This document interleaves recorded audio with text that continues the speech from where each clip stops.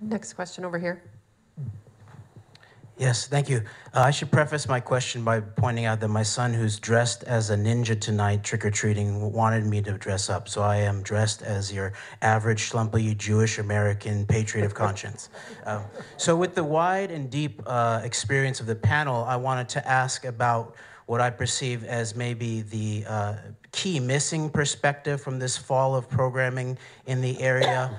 Uh, and also, I would say the maybe duplicitously covered and maybe even treasonous, treasonously covered up piece of episode two in the Vietnam War by Ken Burns, which is the, the, con, the constitutional protecting whistleblowing of high level patriots, uh, truth tellers like people like Fletcher Prouty, who was a black operations commander and uh, the liaison from the US Air Force to, uh, to the CIA who was portrayed in JFK, the film, as uh, Mr. X. Uh, people should know, though, that that film was financed by high-level Israeli uh, nuclear intelligence agent Arnon Milchan, so you should figure out what's maybe missing there.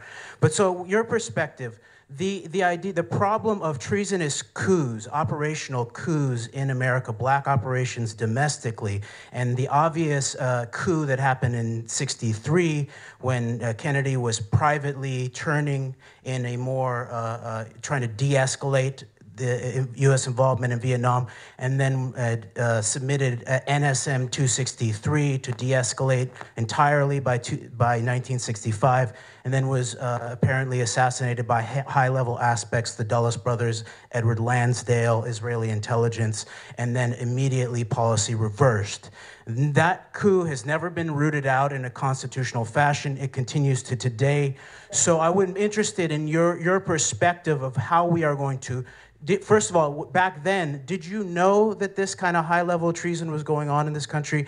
And then nowadays, what is your awareness of September 11th uh, treason and that whole mess? Okay, I'd like to answer that, please. First of all, this is a panel about the experiences of the individuals you see sitting here that served in Vietnam.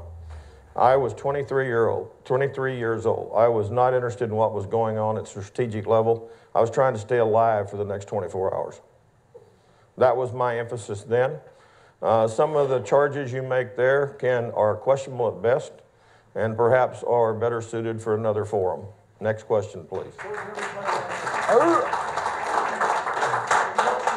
yes, sir. Uh, the difference uh, between uh, Dr. Will Banks, Dr. Kuiper, uh, you had a special circumstance, but the other gentleman, did you ever partner with the Vietnamese, whether it's the ARVN forces or the regional forces?